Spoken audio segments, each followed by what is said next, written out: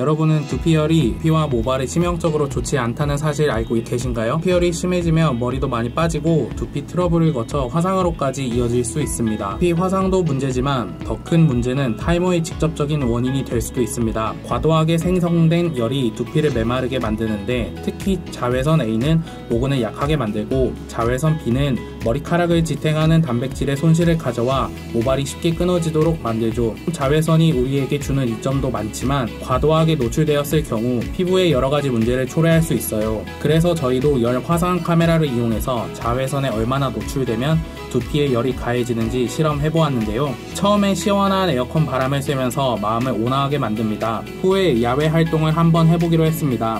덥고 습하여 짜증이 나는데 활동까지 하다니 다들 스트레스까지 받겠군요. 잠깐 동안의 활동을 끝으로 두피 온도가 어떻게 달라졌는지 비교 한번 해보겠습니다. 활동을 시작하자마자 급하게 온도가 올라가는 게 보이는군요. 이렇듯 강한 자외선은 두피의 온도를 생각보다 많이 올리는데 계속 두면 피부 열노와 함께 복합적인 피부 문제가 생깁니다. 이 온도를 식히는 방법으로는 수분 섭취, 차가운 물로 두피 마사지하기 등이 있는데요. 아민토라는 저희가 만든 화장품 원료 성분을 이용하는 좀 더 효과적인 방법도 있습니다. 아민토 원료는 애플민트를 이용하여 만든 원료로 피부의 온도를 확 낮춰주고 열노화를 방지해주는 원료입니다. 자세한 설명은 다음 영상을 기대해주세요.